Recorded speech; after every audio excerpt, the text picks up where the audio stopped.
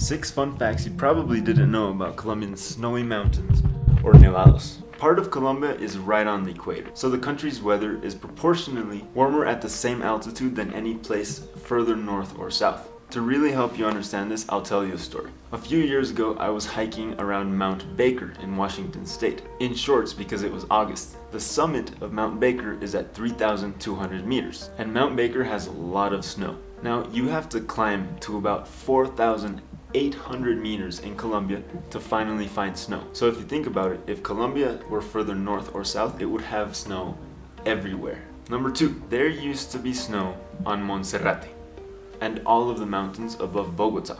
Granted, this was like 30,000 years ago, but it's actually really fun to think about. Number three, in the 20th century, there were 14 snowy peaks in Colombia.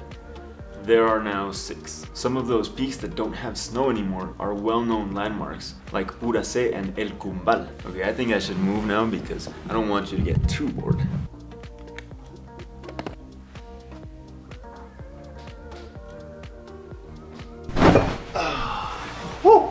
Number 4. Nevado Santa Isabel is set to lose its glacier by the end of the decade. It actually currently has less than one square kilometer of snow on it. It's also Colombia's lowest, most accessible snowy peak. I'd say that's worth a visit. Number 5. Summit in Cocuy is not allowed right now because of a scandal. Back in 2017, a video came out of people playing soccer on the summit. It caused an uproar and the indigenous tribe of the area closed access and actually even destroyed the road. But that video was just the needle that broke the camel's back. The real reason was a general lack of respect for the national treasure that is El Cocuy, which also happens to be diminishing a little too quickly. Was the reaction a little much?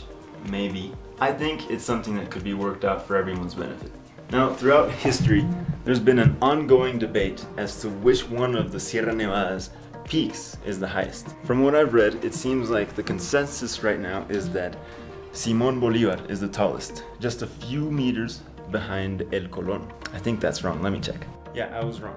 The consensus right now is that, I forgot again, Cristobal Colon is higher than Simon Bolivar by a few meters. But from what I'm read, no one's completely 100% sure yet.